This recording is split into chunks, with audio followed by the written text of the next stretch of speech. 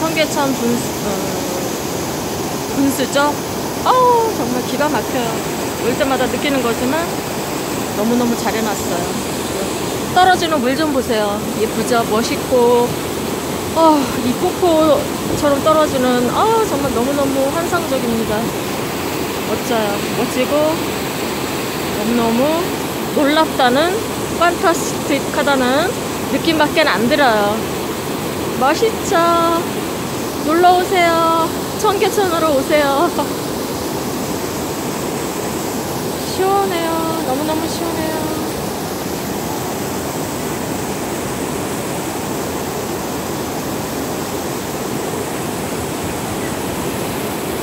서울의 명소 중 명소 그 중 하나가 바로 종각역에서 가까운 종로에 있는 청계천입니다.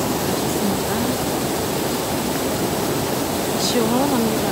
어 정말 올 때마다 느끼지만 너무 멋있어요. 너무 근사하고요. 시원하고